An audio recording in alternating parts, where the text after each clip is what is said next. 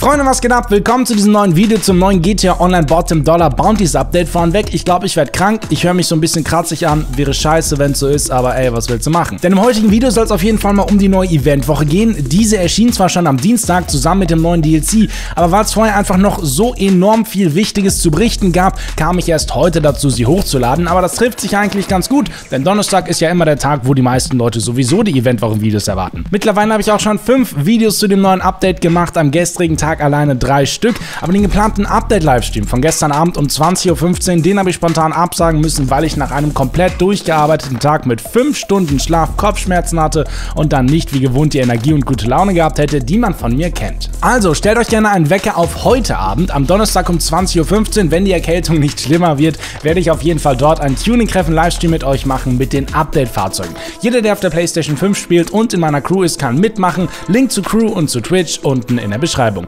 Jetzt würde ich aber auch sagen, Video geht los, viel Spaß dabei.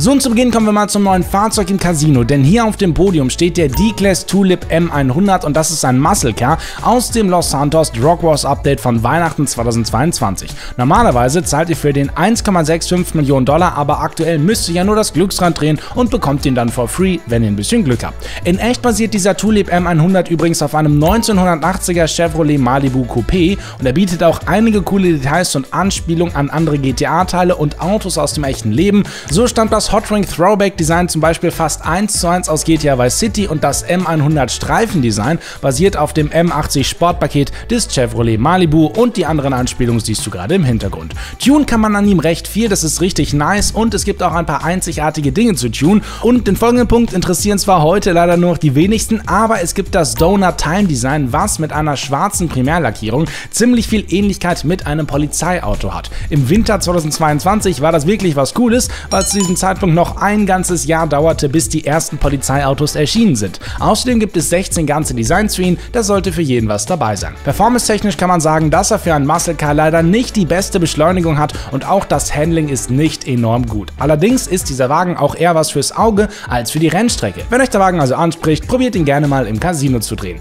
Weiter geht's dann im LSK Meet, denn hier steht als Preisfahrzeug der legendäre Bravado Gauntlet Hellfire. Auch er ist wieder ein Muscle Car mit einem günstigen Preis von 745.000 1000 Dollar. Und falls euch übrigens gefällt, könnt ihr euch auf GTA 6 freuen, denn schon im ersten Trailer konnte man ihn darin sehen. In echt basiert auf einem 2018er Dodge Challenger SRT Demon oder Demon. Wie beim Casino-Fahrzeug sind auch hier wieder einige Designs Anspielungen ans echte Leben. Das Race Ray Hero Design hat zum Beispiel Ähnlichkeit mit einem Design aus Gran Turismo 5 für ein ganz ähnliches Fahrzeug. Die anderen Anspielungen siehst du aber auch gerade wieder im Hintergrund. Performance-technisch kann man hier aber definitiv besseres berichten als beim Tulip M100. Er hat eine super gute Beschleunigung, eine enorm hohe Höchstgeschwindigkeit. Nur leider bricht der Wagen bei geringeren Geschwindigkeiten gerne mal aus, also lieber mit 100 Sachen 80 durch die Innenstadt brettern, da passiert dann nichts bei. Tune kann man auch einiges sowie 12 verschiedene Designs auswählen. Was müsst ihr jetzt machen, um den Wagen kostenlos zu bekommen? Ihr müsst zwei Tage lang in Folge auf Platz 1 der LSK Meet Serie kommen. So, bevor wir jetzt weitermachen, noch eben zwei wichtige Hinweise, die ich in den letzten Videos leider nicht angesprochen habe oder falsch angesprochen habe und die waren dann auch nicht groß genug, um ein eigenes Video drüber zu machen, aber ich wollte sie gerne klarstellen, deswegen baue ich das jetzt hier ein. Bei meinem Video Video alle geheimen Fahrzeuge aus dem Dripfeed habe ich ja den Canis Castigator gezeigt, der später mal 1,65 Millionen Dollar kosten wird. Im Video sagte ich, dass man den noch nicht bekommen kann, aber das stimmt so tatsächlich nicht. PS5 und Xbox Series Spieler können sich nämlich über den Karrierefortschritt freischalten, denn es ist die Belohnung von Stufe 4. Und um das zu erreichen, muss man auch eine ganze Menge tun, das ist nicht an einem Wochenende erledigt, denn ihr müsst insgesamt 10 Platin-Auszeichnungen bei dem Update freischalten, dann 24 Zielpersonen lebendig ergreifen, insgesamt eine Million Dollar durch die Mitarbeiter Mitarbeiter im Safe verdienen, was Ewigkeiten dauert und 5 Millionen mit dem Verhaften oder Ausschalten von Zielpersonen verdienen. Und zweitens, ihr hattet ja Safe auch schon eine Kopfgeldjagd, wo man nach Palito Bay fahren musste. Wenn man die Mission startet, steht ja auch der langsame Agenturvan neben einem und ich dachte jetzt, man muss mit dem langsamen Van bis zum Ziel fahren und dann dort das Ziel schnappen, aber nein, ihr könnt auch einfach mit einem Jet oder Helikopter oder einem anderen, schnelleren Auto anreisen. Und beim Flüchtigen angekommen, braucht ihr nicht mal den Van über das Interaktionsmenü anzufordern, sondern könnt einfach direkt die Mission Missionen spielen und sobald man den Flüchtenden den Handstellen legt, spawnt der Van neben und man packt ihn hinten rein. So spart ihr euch zumindest den Hinweg mit dem langsamen Van, den Rückweg muss man leider trotzdem mit ihm fahren. Okay, jetzt zurück zur Eventwoche. Die neuen Testfahrzeuge sind der Vapid FMJ, der Vapid POD Gasser und der Dinka Jester als Rennversion. All diese Autos sind übrigens aus dem Internet entfernt worden. Wenn ihr euch sie also kaufen wollt, macht das gerne im LSK mit. Und PS5 und Xbox Series Spieler können dann derweil noch den neuen Anis Euros X32 mit HSW ausprobieren. Das ist vielleicht eine ganz schlaue Sache, bevor ihr da das ganze Geld für ausgebt, einfach mal den Wagen mit HSW kostenlos ausprobieren. Weiter geht's dann in den Autohäusern. Im Luxury Auto Store steht die neue Invitero Coquette D1 und der neue Übermacht Niorbe, besser bekannt als BMW i8. Und bei Simeon stehen dann der Enus Paragon S, besser bekannt als Bentley Betour, und die Invitero Coquette Blackfin, der Lampadati Furore GT, der Enus Cognoscenti Cabrio und der Pegassi Fagio Sport. Und das sind auch alles entfernte Fahrzeuge aus dem Internet, die man sich jetzt wieder kaufen kann. Besonders der Fagio Sport ist sehr lustig, weil es da enorm viele Tuning-Optionen für gibt. Ist ein bisschen so an Top Gear angelehnt. Okay, kommen wir jetzt mal zu den Möglichkeiten, wie man diese Woche viel Geld verdienen kann. Und das ist ultra peinlich, denn es gibt doppeltes Geld in RP auf den Gegnermodus Cross the Line. Mehr Angebote gibt's leider nicht. Wirklich gar nichts. Immerhin ist der Modus aber ganz lustig. Es gibt zwei Teams, beide Teams spawnen hinter einer Linie und Ziel ist es, mit allen Leuten aus einem Team hinter die Linie des Gegnerteams zu kommen. Erinnert irgendwie entfernt an Fischer. Fischer, wie tief ist das Wasser aus der Grundschule im Sportunterricht? Wer diese Eventwoche jetzt übrigens sechs Kopfgeldjagden abschließt, bekommt 100.000 Dollar geschenkt. Was ziemlich gut ist, bekommt man aber leider nur einmal. Und die neuen Schrottplatzfahrzeuge sind dann folgende.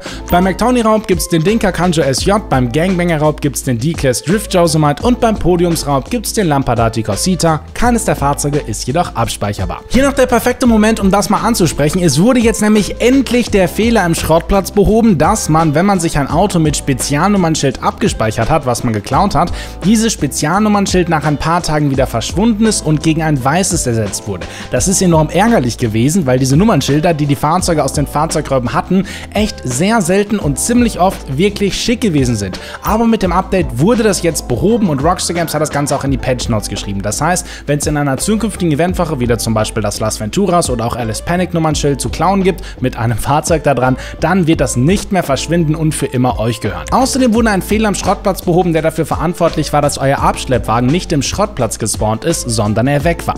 Und außerdem wurde noch ein Fehler behoben, der dafür gesorgt hat, dass ihr nach Fahrzeugräuben auf einmal fremde Autos in eurem Schrottplatz habt stehen haben. Wenn euch alle anderen und teilweise gute und schlechte Änderungen interessieren, guckt gerne mein Video zu allen Änderungen hier oben rechts an. Und zu guter Letzt haben wir dann noch die neuen Rabatte und die sind leider genauso peinlich wie die Geldverdienmöglichkeiten. Es gibt 30% Rabatt auf die Coquette Blackfin, die kostet noch 486.000 Dollar und 30% Rabatt auf den Vapid FMJ und der kostet noch 1,225 Millionen Dollar. Aber ganz wichtig, die Autos gibt es leider nicht im Internet. Der Rabatt gilt also nur, wenn die Blackfin von Simeons Autos kauft und den FMJ im LSK Meet bei den Testfahrzeugen. Gut Freunde, das war's jetzt aber auch alles in allem mit der neuen Eventwoche. Wenn ihr jetzt sagt, boah, die war aber scheiße. Stimme ich euch zu, aber in den meisten Fällen ist die Eventwoche, die mit dem neuen Update erscheint, meistens Mist, da das Hauptaugenmerk ja auf dem neuen DLC liegen soll und nicht auf der Eventwoche. Nächste Woche Donnerstag wird dann besseres Zeug erscheinen, das kann ich euch schon mal versprechen. Unter anderem das neue Independence Day Event und der Pippi Strello für alle Spieler. Wenn dir jetzt das Video weitergeholfen hat, teilt es gerne mit deinen Freunden und Kollegen. Ich mache mir jetzt einen warmen Kakao mit Honig und ciao.